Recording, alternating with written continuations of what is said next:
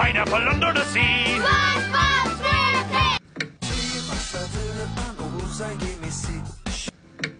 Görüşürüz. Bu harika barışma için